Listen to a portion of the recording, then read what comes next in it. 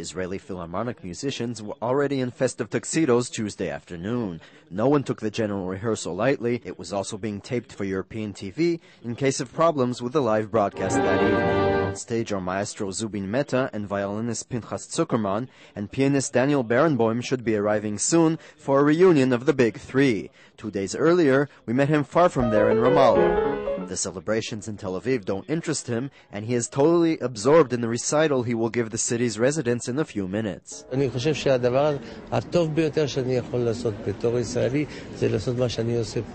Israelis have heard mainly of his scandals, including his attempt last year to play Wagner in Israel and the incident in which he refused to grant an interview to an Israeli army radio reporter because she was in uniform.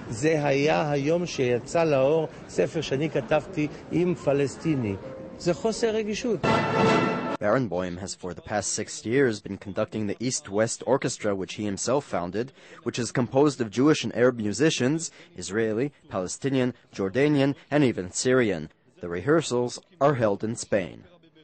למה לא ליצור ולעבוד יותר מפה מישראל?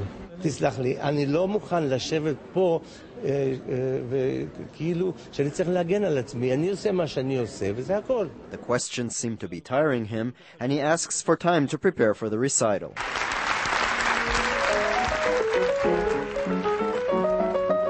From Ramallah back to Tel Aviv, he finally arrives quite late for the rehearsal at the Mann Auditorium. Mehta, Zukerman, and Barenboim together in one concert, a reunion of once in a decade.